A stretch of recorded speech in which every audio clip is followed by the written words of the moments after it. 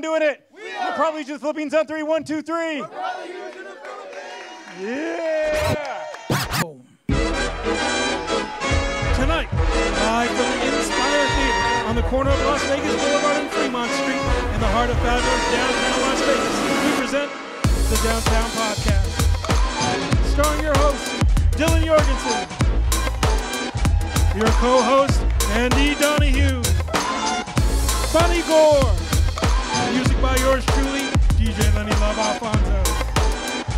Tonight's guest, Nevada State Congresswoman Dina Titus. Artist Stephen Ligori. And Miss Atomic. My guest tonight is a local artist who immortalizes Nevada icons. Let's talk to him about his bronze medal and our state's love affair with the atomic bomb. Let's welcome Steve Ligori.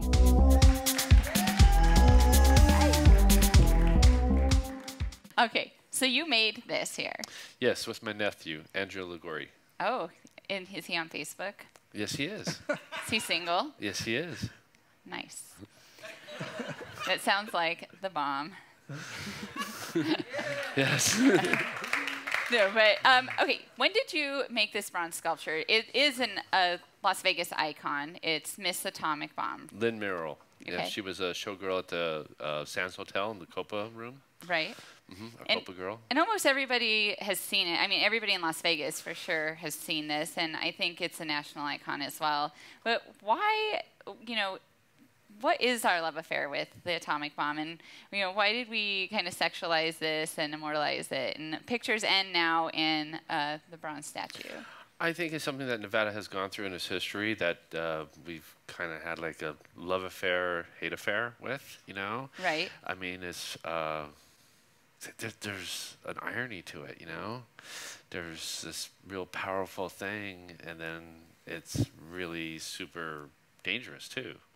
Right. So you got power, you know, wow, and danger. prestige, beauty, and then you got you know radioactivity. Right. So it's uh, Well, people used to love to have like atomic bomb watch parties, right? Yeah. Like we have the atomic bar down the street here on East Fremont, and um, you know they they tell stories about how people used to go sit on the roof there and watch um, watch the bombs.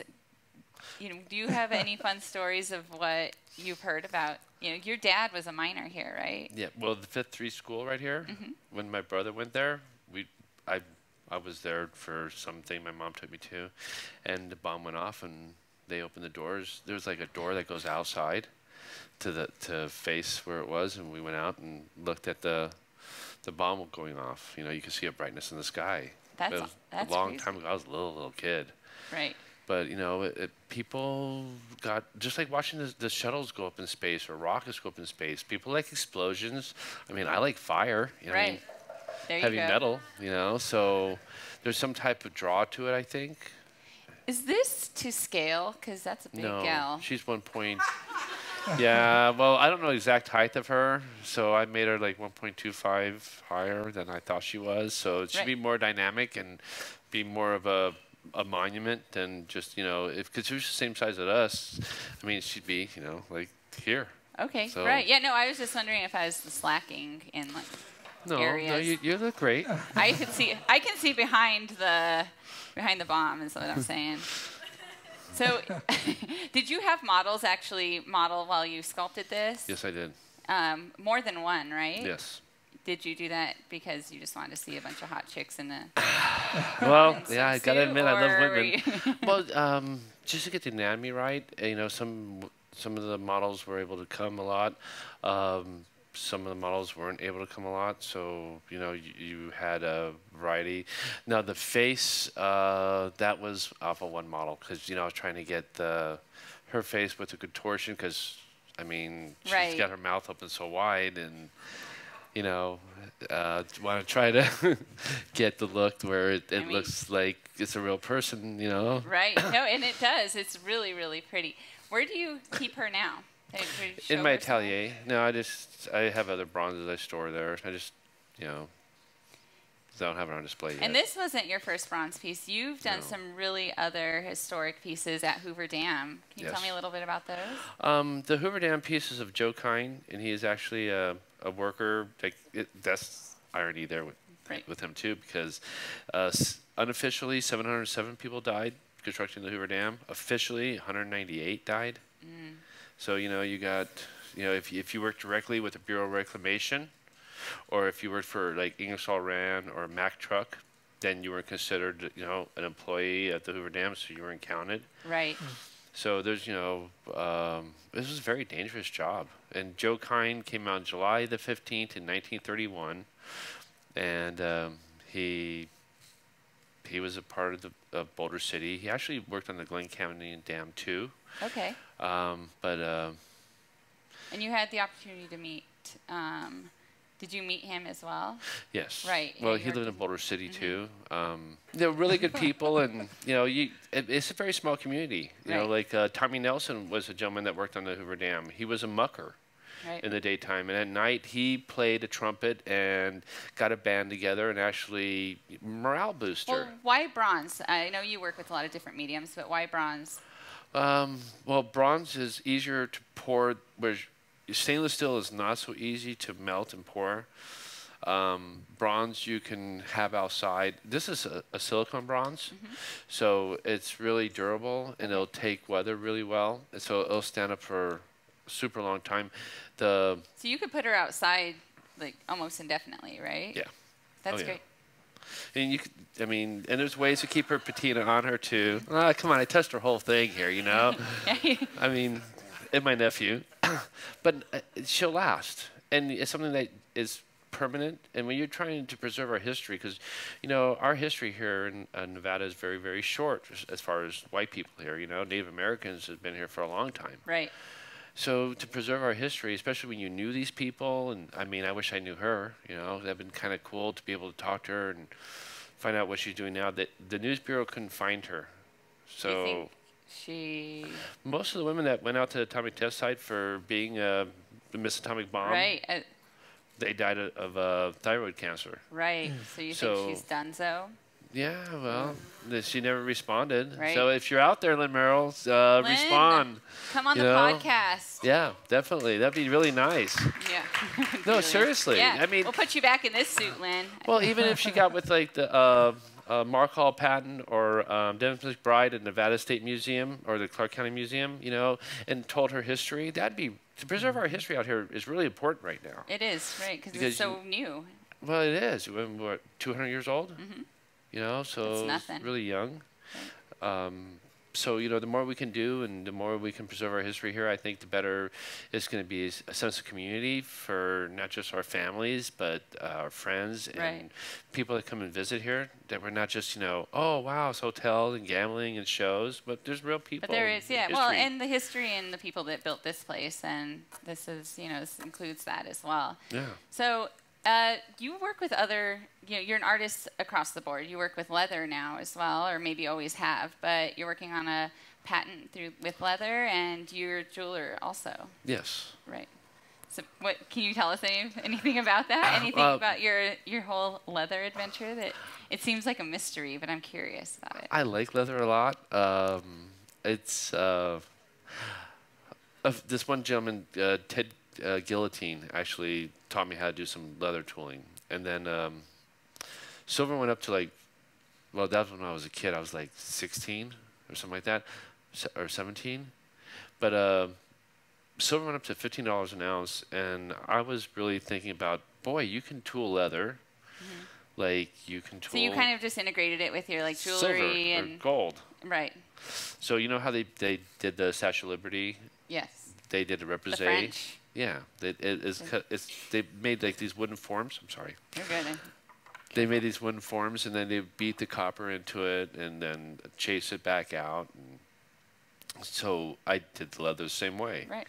and it, it's uh, it stands up. I can do leather, and or I can do sculpture in um, lambskin, Oh, lizard. that's soft. Yeah, it's really That's soft. It's supple. It's really, really nice, especially for purses or clothing, you know, It is good. Or a veggie tan. So I like to end all of my podcasts now, starting today. Uh oh. Uh oh. with a would you rather. Because I feel like when you would you rather people, you kind of get to know them inadvertently. Would you rather take a really quick, like a quick dip in nuclear waste wash off and to see what's going to happen over the years, or crawl into bed and discover peanut butter in your sheets every night for the rest of your life?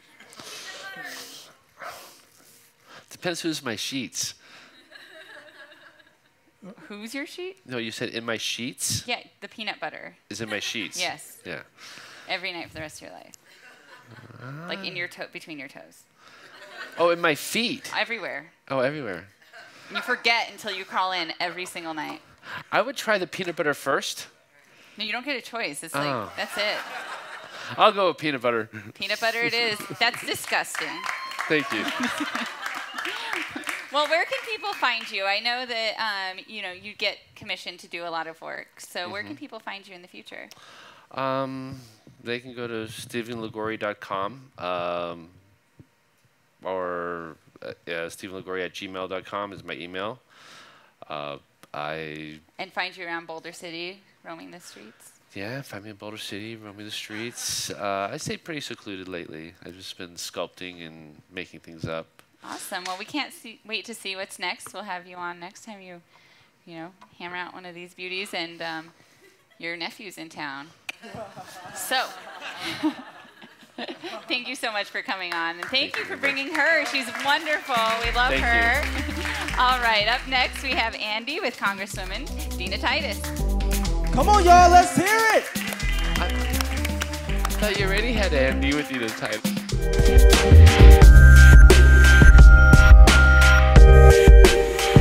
Two, one. Yeah. All right. We're so excited to have back on the program the Congresswoman from Nevada's 1st District, which is home to the Inspire Theater, and a couple people's favorite podcast, Congresswoman Dina Titus.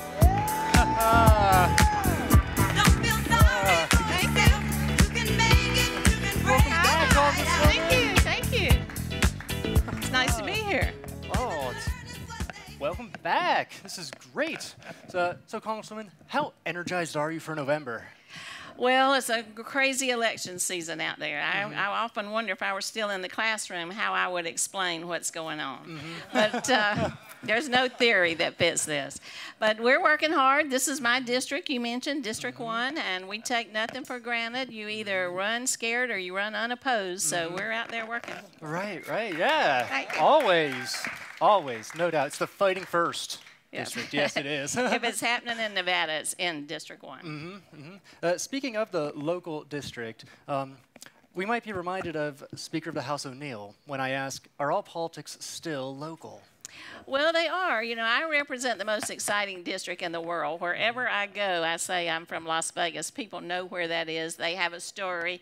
You know, our district goes from the airport to downtown. Mm-hmm. And so if you've ever seen the movie Hangover, that's like an average day in our office. sure it is. Yeah. Now, vote, voting is a lot of fun. Uh, if- I think for everybody. Um, do you have a preference on caucuses versus primaries? Well, Nevada has a caucus system, and I think we should keep that because that puts us early in the rotation. We get to be the third state, and that means we have more influence. So I don't want to change away from that caucus. Great, sure.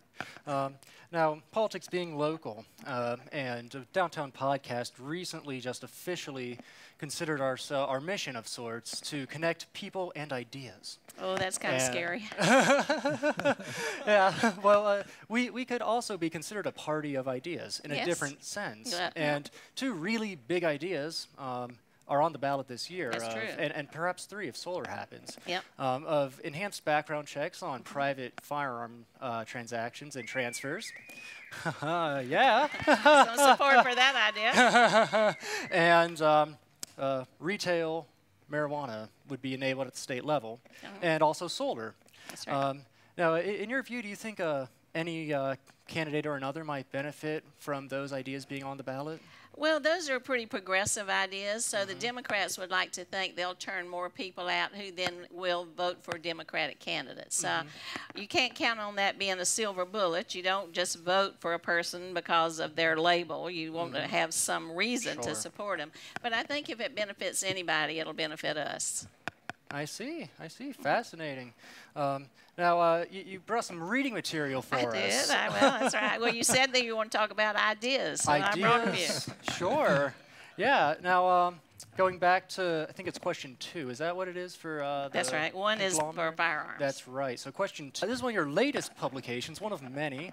Um, title of which is "Puff Puff Pass That Law." What? Now, it's what it's the title. It's uh, from a from an organization in Cambridge, Massachusetts, of some note. Yeah, and uh, and um, is this also a calling to vote vote pass this vote?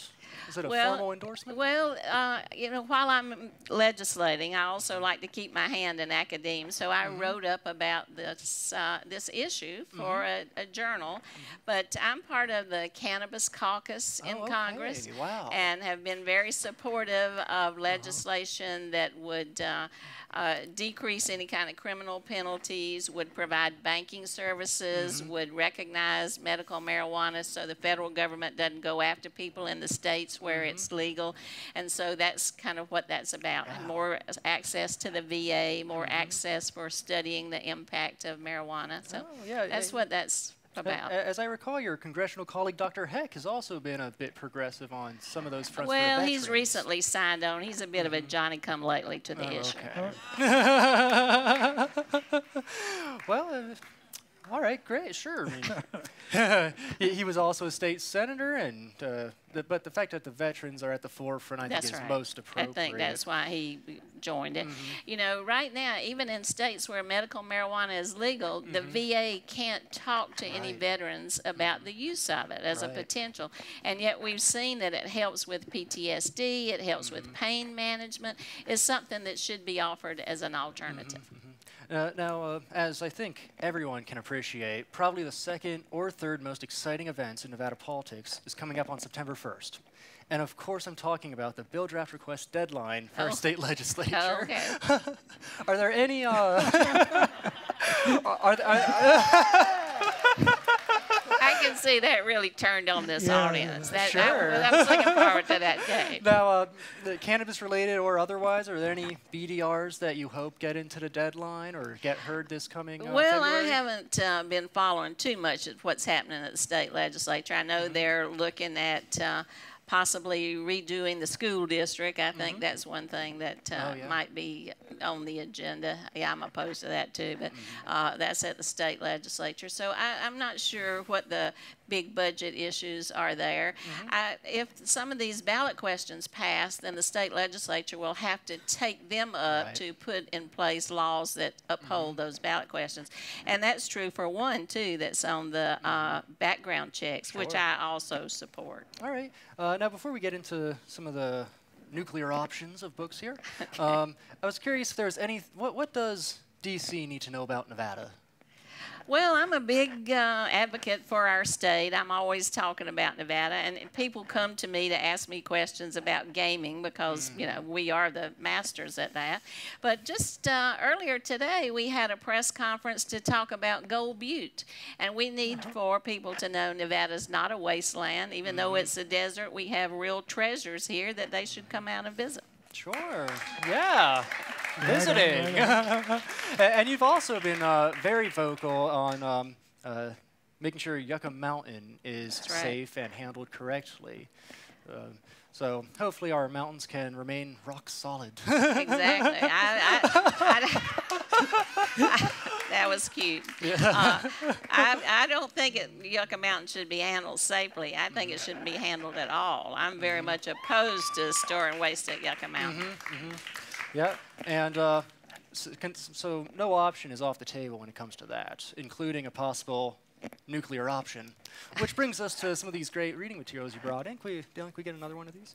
Um, now, this is one of your earlier publications, That's Bombs true. in the Backyard. Yeah. Um, how might a reader find this to resonate today? Well, you know, plus ça change, plus la même. The more things change, the more they stay the same. So we have to always be on guard. Uh, but that's more of a historical perspective of when we did atomic testing in Nevada back during the 50s up to the early 60s. But the test site is still there, Right. and it's at a level of readiness that if an administration said we need to test again, they could do it again. Great. Well, what is it about Nevada that makes us so enticing for groundbreaking research? You know, we got the UAVs, the drones now. That's true, We've yeah. got solar. We've got electric vehicles. Um and we had the first atomic testing as well. Well, why are we so perfect for innovation? Well, we have a lot of space. Mm-hmm. That's one thing. A lot of land space and air space where you can Mm-hmm. use that. And also, people in Nevada are entrepreneurial. I grew up in the South. If I had stayed there, I could never accomplish what I have been able to do in Nevada. Shoot, in Nevada, if you have some crazy idea in the morning, by the afternoon, you can get three or four people to go along with you. Yeah, that's. it. yeah. Now uh, we have an artistic example Yes, here I like of this. uh, I like this the sculpture. atomic testing. Uh, it, it seems like the what you described is like a cultural phenomenon here. You know, we, it wasn't man-made like a number of other things, like our lakes sometimes, but it, it's just innately there. It's just the West. It's like we're the frontier. so We are. There's still a lot of cowboys here in Nevada. Are, are any of them also elected officials? Possibly. Some of them are now in jail, thank goodness, too. Oh. So, you know. Goodness, wow.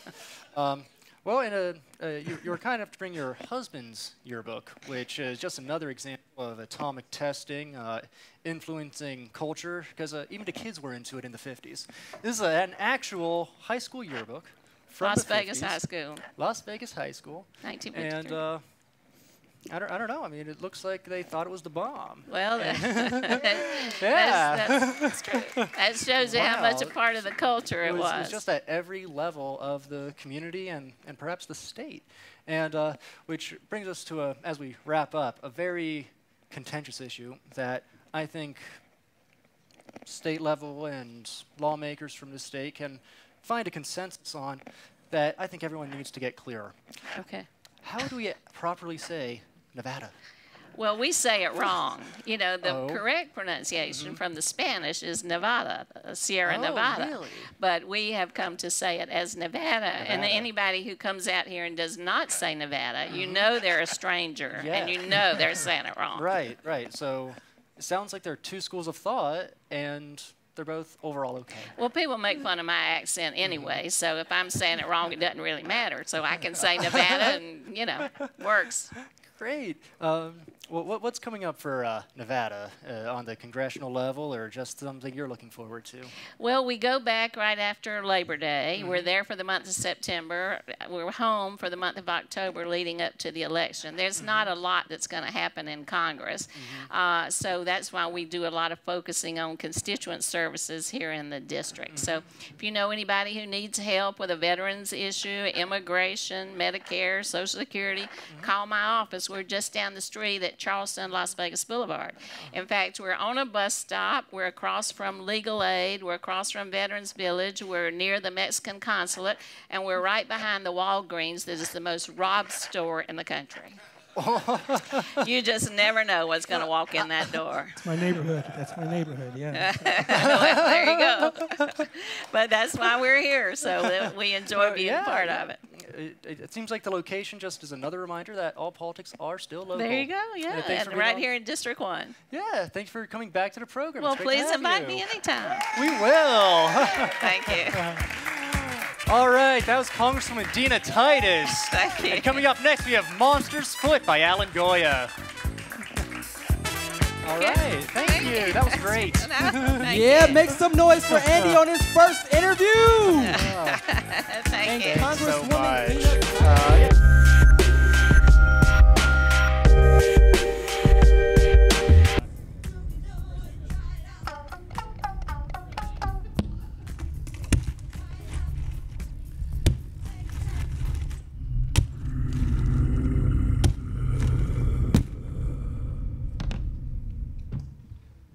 Tokyo, 1962. Not a very pleasant place. There is much sadness, and a gray stench lies over the city.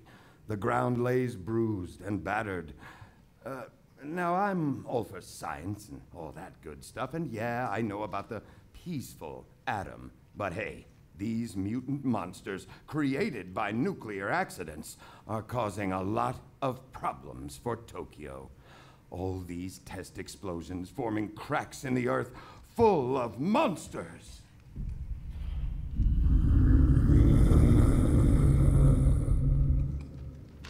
Tokyo, 1962, and we have a big lizard problem.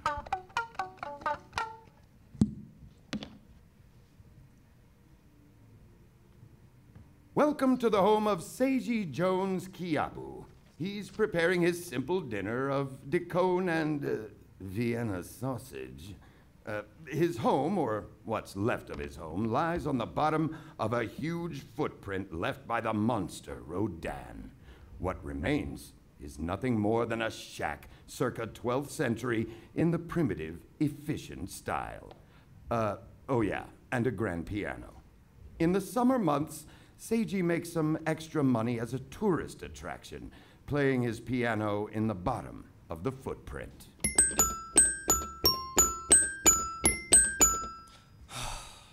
I can make more money if I knew how to play this piano. Yes, he lives a very stupid life. There are many sad stories of lonely, desperate souls.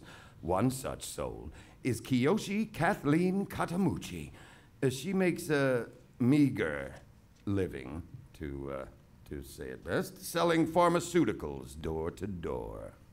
Hello down there. Burn ointment for sale. Burn ointment for sale. Hello, yes, you down there. Do you want to buy some lotion? That's lotion with lanolin, with camphor, menthol, eucalyptus oil, imported fragrances, sodium borate, and bromo nitropropane. Hello down there. Hey, you got any Vicks inhalers? Yes, we do. Come on down. Ah, Yes, I, I have one right here. It's almost new. What? It's only been used once. Nani? Excuse me, please, but do you think I could come in for a moment to cool off? There's so much radiation out here. I haven't even showered for hours. Oh, haite kodasai. Certainly, certainly. Please come in. Pardon me for my rudeness. No, no, pardon me for my abruptness. No, pardon me for my oversensitivity. No, no, pardon me for my insensitivity. Okay, Okay? it's an expression. Ah, ah, pardon me for my ignorance. Mm-mm, pardon me for my borrowed cliche. Cliche? Okay, you were selling burn ointment. Come on in.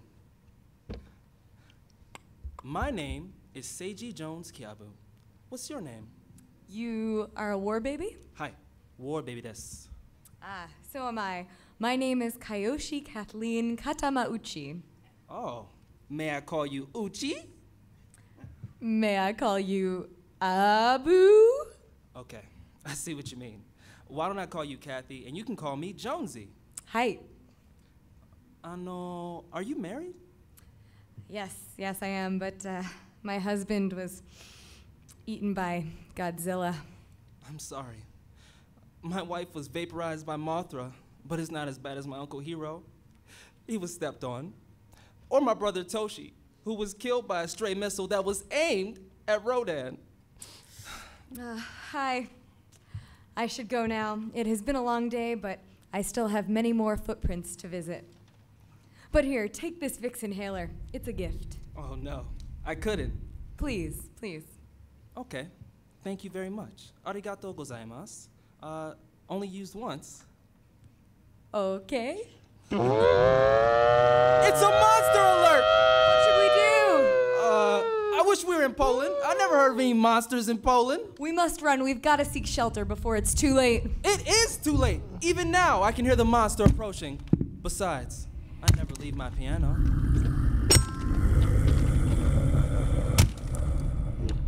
Don't worry, we'll be all right.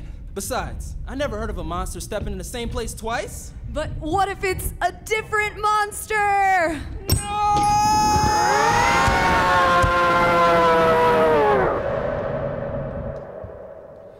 And so it is in tragic Tokyo, where the sound of the siren is the song of sorrow. Tokyo 1962, and we still have a big lizard problem.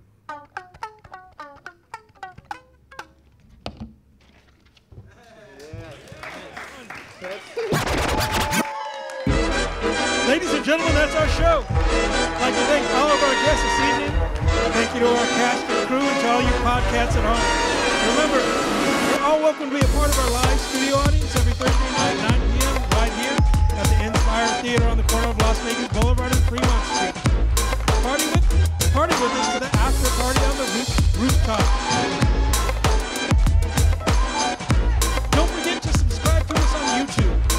Like us on Facebook, Instagram, Twitter at Downtown Podcast. Thank you. Salamat, salamat. Peace.